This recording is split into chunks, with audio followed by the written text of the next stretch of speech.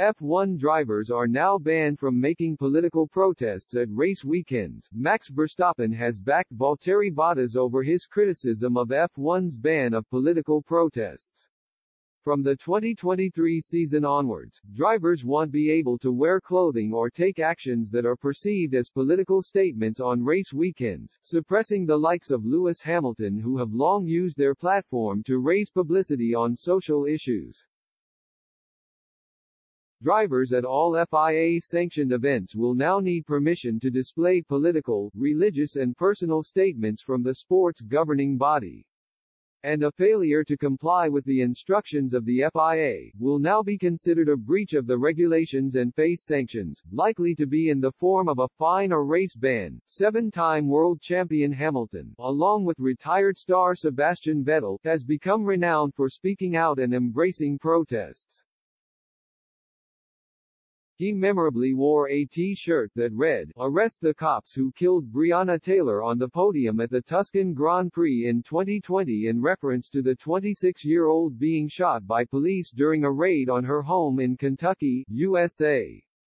Vettel meanwhile, wore a Rainbow Pride T-shirt with the words, Same Love, on the grid at the 2021 Hungarian Grand Prix to show support for the LGBTQ plus community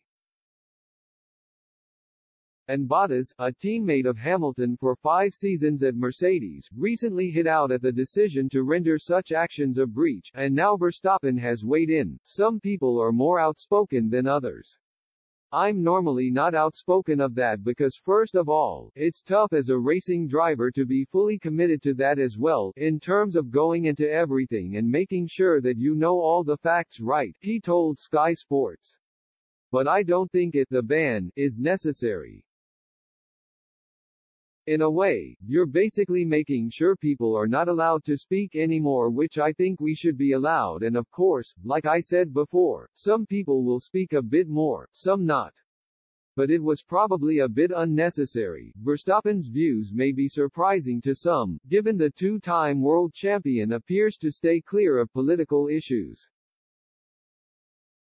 But the measure has also received support, notably from McLaren boss Zak Brown, who implied protests detracted from the action on a Grand Prix weekend. I think in general we want to be a sport that is doing good, he said. We just need to find a balance there and not have every start of a race being a new political agenda for someone. I don't think that's healthy as it can detract from what everyone has tuned into, which is they want to watch a Grand Prix.